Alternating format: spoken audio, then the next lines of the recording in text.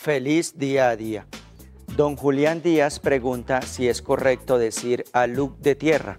Si lo es, porque uno de los dos significados del sustantivo masculino alud, según el diccionario oficial, es masa grande de una materia que se desprende por una vertiente, precipitándose por ella.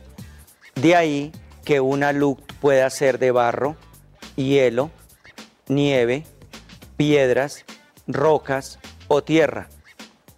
Un ejemplo que nos da el diccionario del estudiante de la Real Academia Española es este. La carretera está cortada por una luz de tierra. Cabe aclarar que como el primer sentido del vocablo alud es gran masa de nieve que se derrumba de los montes con violencia y estrépito y es sinónimo de avalancha, el sintagma alud de nieve constituye un pleonasmo o redundancia, como advierte el maestro José Martínez de Sousa en su diccionario de usos y dudas del español actual. Pese a esto, el diccionario combinatorio práctico del español contemporáneo, dirigido por don Ignacio Bosque, miembro de la Real Academia Española y principal gramático de nuestro idioma en la actualidad, nos da este ejemplo. Un espectacular aluk de nieve sepultó a los montañeros.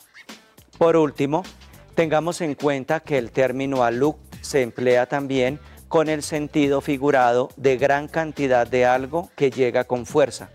Por eso se dice aluk de críticas, de denuncias, de peticiones, de preguntas, de quejas, de trabajo, etc. No olviden enviar sus consultas que con gusto serán respondidas. Hasta la próxima.